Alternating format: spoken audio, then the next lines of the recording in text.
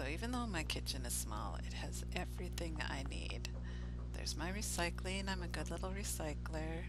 The wine glasses my mom gave me. I love them because they have snowmen on them. The reminder to my man that no man was ever killed while doing the dishes. Um, I love the decor. I came up with it myself, so I think that's good that I love it. Um, we always keep our pans on counter. And usually that counter too where all that stuff is is totally cleaned off. So then to me it looks like at least when you walk in the door that I'm really clean because that's clutter free.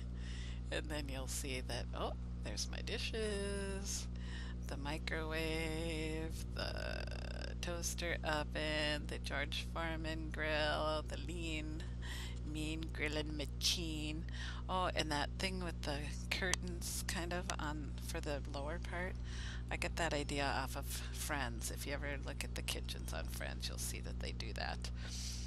But anyway, it, the thing that I was thinking is that when push comes to shove, though, I, I, I don't care about kitchen stuff so much, and I don't really care about cooking. And so this kitchen is perfect for me. I'm just saying.